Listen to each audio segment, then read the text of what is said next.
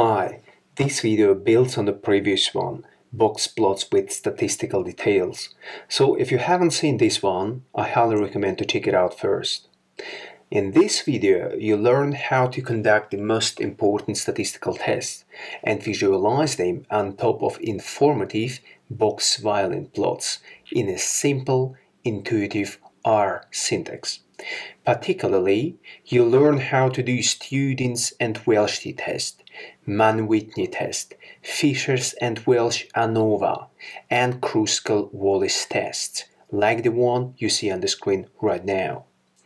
You'll also learn how to choose a correct test via checking assumptions in R with Shapiro-Wilk normality test and Levene's homogeneity of variances test.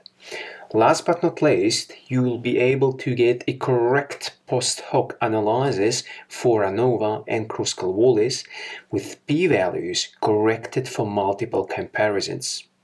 If you don't know what post hoc and p-value corrections are, no worries, I'll briefly explain it. So this video is not only about simple R code, but also about learning statistic by doing. Let's get right into it. In the previous video on box plots, I promised you to show how to produce a very fancy box violin plot with statistical details in only one line of code. Here is this line.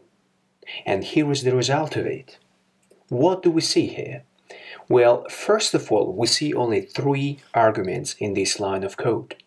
The data, this is just part of a dataset which shows how it should look like in your Excel table.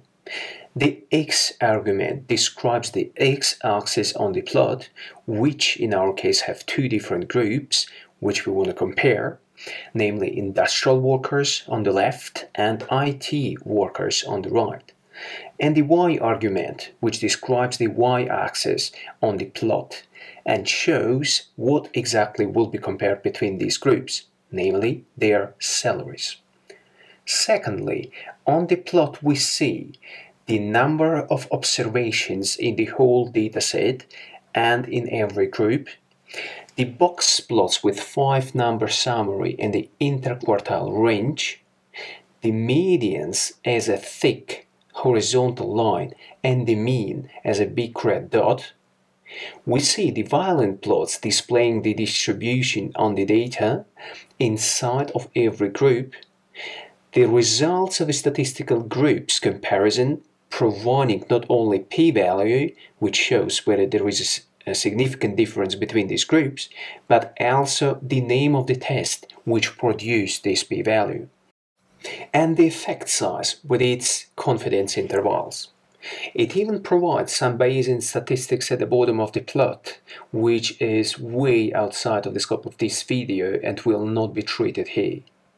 So you see that having only three intuitive arguments, data, x and y, we get a pretty informative plot.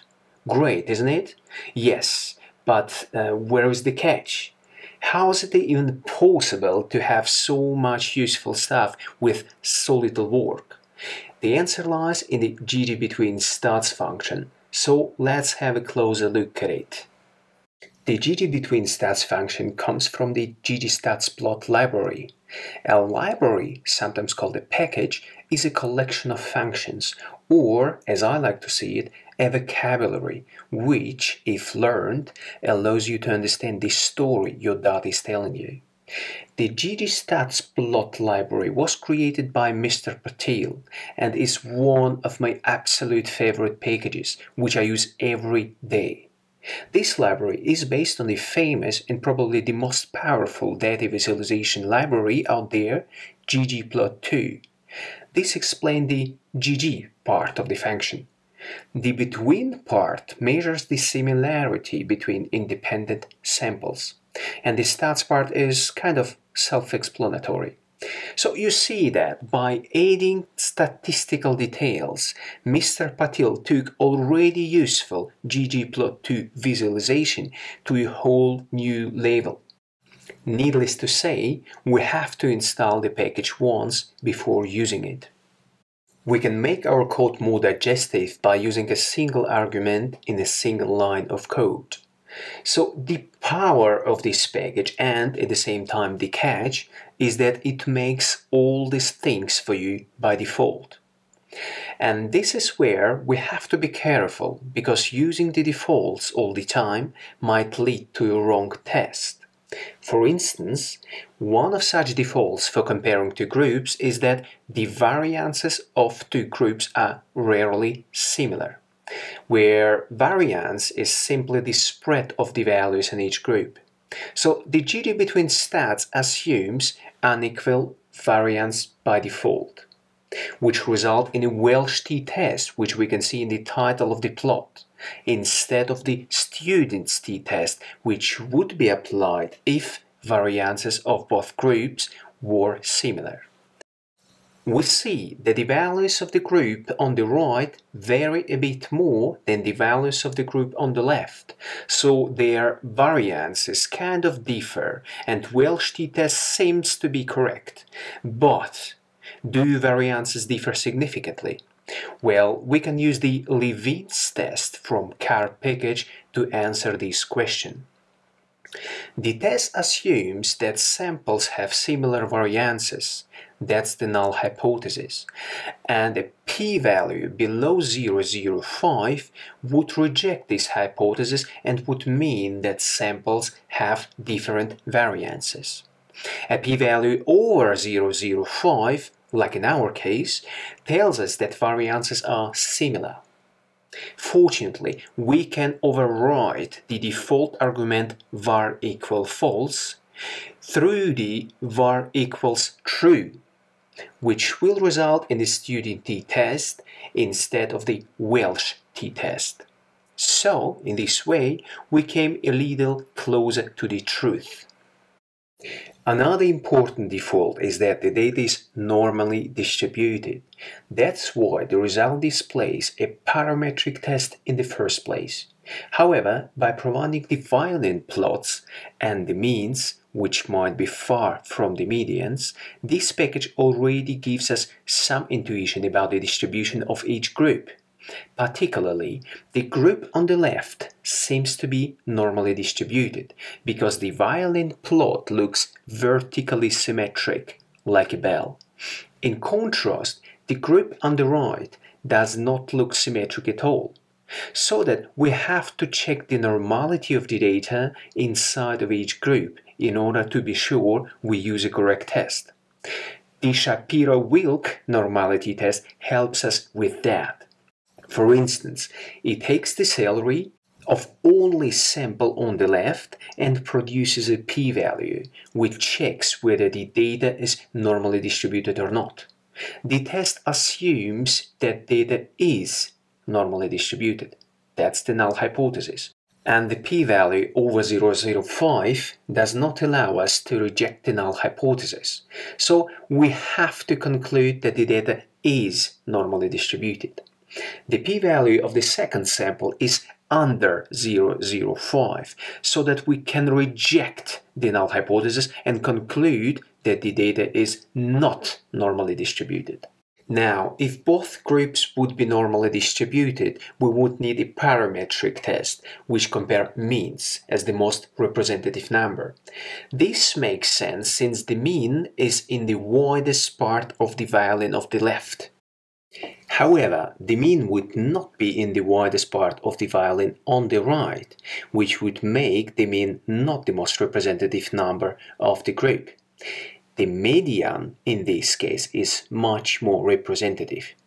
This is why we need a non-parametric test which would take medians for groups comparison instead of means. If you wonder why do we need parametric tests at all, if the medians are always the most representative number for the sample regarding the distribution, the answer is that parametric tests are believed to be a bit more powerful, which helps to not to miss any discovery, if there is one. So both parametric and non-parametric tests are important. GG between stats allows us to determine the type of the test using a single argument. type equal P for parametric test or type equal NP for non-parametric. It really couldn't be simpler than that. The package even tells you the name of your non-parametric test, Mann-Whitney in our case. By the way, you don't need to check the variance for the non-parametric test, so the argument var equal is not necessary and will be ignored. Now, the variable job class on the x-axis allowed us to compare two groups. What if we had more than two groups? Let's change only one word in our code and see what happens. Suddenly, we get completely different and more complex statistical tests. Why is that? The only difference between this variable is the number of groups. Job class has only two groups, which require t-test or Mann-Whitney test, while education has more than two groups and requires ANOVA or Kruskal-Wallis. And the ggstatsplot package knows it. Here, the author beautifully showed that these differently named tests all do the same thing compare groups. I couldn't agree more and I have talked about it in my very first video on this channel, Introduction to Statistics. But why do we have even more p-values now? Well, the p-value of the Kruskal-Wallis only says whether there is a difference between groups or not, but it does not say between which groups. That is why we have to pairwisely compare all the groups between each other, which is then called a post hoc analysis. With three groups, we have three pairs and therefore three new p-values. Now, why are p-values somehow corrected? The answer lies in the nature of data. We simply cannot collect all the data in the world. We only have a very small part of it. For instance, we only have salaries of 30 people in each group. So you can imagine that our sample might simply be somehow biased or not too representative for the whole group. This leads to a small probability that results of the test are wrong. And that's okay, we can live with that. However, when we do a second test, we also have a small probability that it's wrong. Hmm, these two small probabilities add up to a slightly bigger probability that one of the tests is wrong. And if we take 20 tests, it is statistically guaranteed that one of them will be wrong. So now, Imagine all of these 20 tests will be significant. One of them, the wrong one, will deliver a false discovery. Thus, in order to reduce the probability of false discovery, we make p-values needed for significant results lower than 0.05. And that is why we see the Holm corrected p-values on the plot. You are probably more familiar with the Bonferroni corrected values, but Bonferroni is known to be very conservative, and as you can see, we only have two significant differences instead of one. So we have just missed a potentially important discovery, namely that with a college degree you learn significantly less than with a university education or a PhD degree. Thus, I'd recommend following the default of the package, namely Holm correction, or to use the Benjamini and Hochberg correction because it reduces the false discovery rate better than Bonferroni. That is why you see FDR corrected values on the plot. Moreover, the ggBetween stats automatically determines the kind of pairwise test which fits the main test. Particularly, it is the Dunn post hoc tests after Kruskal-Wallis, Student's t-test after Fisher's ANOVA, and Games Howell test after Welch ANOVA. And the beauty of this is you only have to think about the main test. The post hoc tests will be determined automatically. Since we're often interested in only significant results, only they are displayed by default. However, we can override this and display only non-significant p-values or even all of them. We can display the notch, which shows 95% confidence intervals of the medians and many more other parameters, which I'd rather show in an extra video as a quick R demo. And I would recommend to check out this demo and start coding right away. You won't regret it. So if you enjoyed this video and want to see more, feel free to like and subscribe. And as always, thanks for learning.